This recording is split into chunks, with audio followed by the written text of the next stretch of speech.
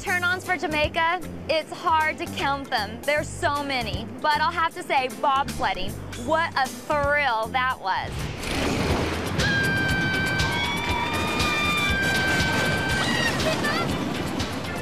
A good driver, man.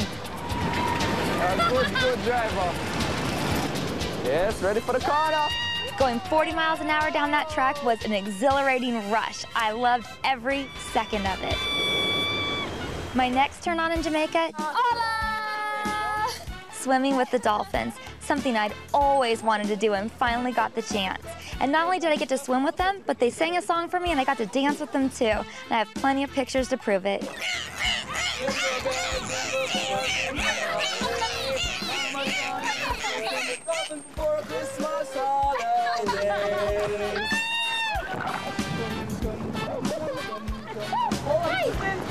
Oh my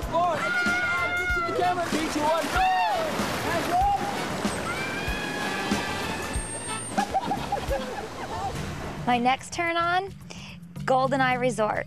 It is an amazing place to go and an even better place to stay. This is great. I want to have a James Bond themed party there someday. If you want to go wild, go wild. Have a Say little bit oh, of it all here. Have a little bit of it all here. How can you not be inspired here? Bridget Bond. Oh, yeah.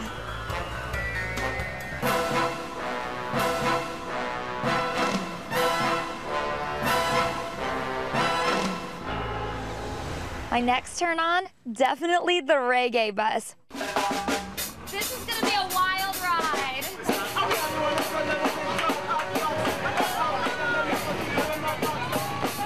thought several times we were going to go off the edge of the cliff. What narrow streets and fun party entertainment while on board.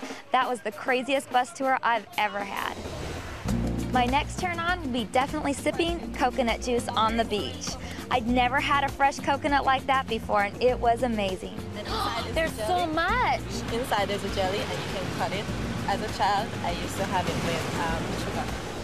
Probably my biggest turn on in Jamaica is Dunn's River Falls. And not only did I get to see it, but I got to climb all 650 feet of it. Oh, the falls are amazing. What a great experience. So this is the end and you guys can sit here and relax for a while, okay? Okay, That we was made well it. done.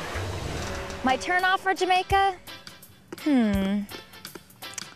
There really was none. I guess having to go home. Back to the beach for me.